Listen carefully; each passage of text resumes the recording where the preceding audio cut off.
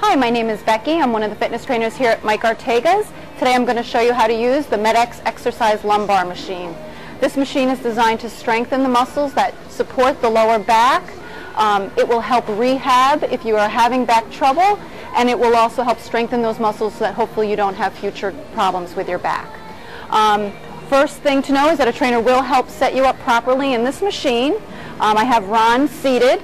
I'm going to ask Ronn first to push his hips all the way back against the pad. Um, feet are flat on this platform. Next, Ronn is going to buckle his seatbelt. That's going to help keep his body still during the exercise. Good. Now Ronn is going to crank these pads down onto his legs. The idea is we want to keep the legs out of the exercise. They shouldn't be able to help you.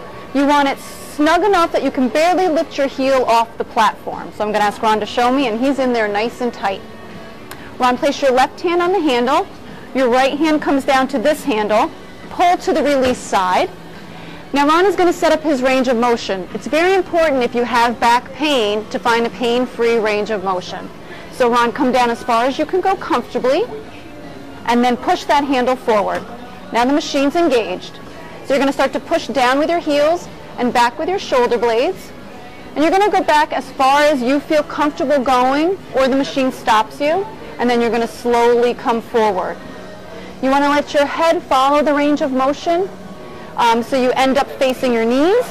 And as you push back, you're looking up at the sky. Good. Nice and slow.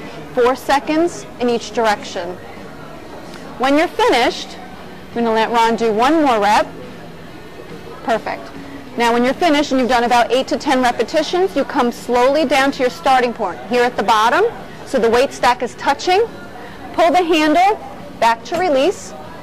Push the back all the way back and then engage the handle.